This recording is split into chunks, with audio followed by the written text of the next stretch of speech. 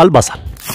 هل تعلم أن بصلة صغيرة بفضل المركبات القوية التي يحتوي عليها البصل ستطرد الحشرات من نبتتك وفي نفس الوقت تغذي نبتتك وتقويها.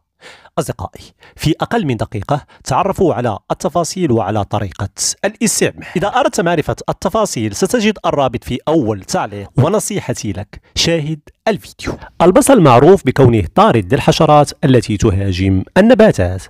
البصل معروف باحتوائه على الفوسفور والكالسيوم والحديد والعديد من المواد المغذية للنبات. لذلك فهو جد مفيد في الزراعة العضوية الطبيعية التي لا تعتمد على المبيدات والأسمدة الكيميائية. بكل بساطة نأخذ بصلة بأي لون وأي شكل.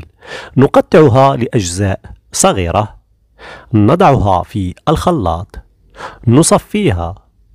ونستعملها سقيا للتربة مرة كل 15 يوما. نستعملها أيضا رشا للأوراق. المركبات القوية التي يحتوي عليها البصل ستطرد الحشرات من نبتتك. وفي نفس الوقت نضمن تغذية وتقوية جذور وسيقان ونضمن أيضا تزهير وإثمار النباتات.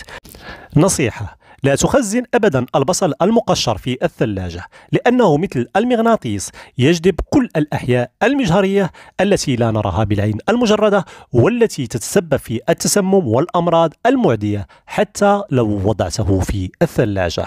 صحتكم تهمنا. إلى اللقاء.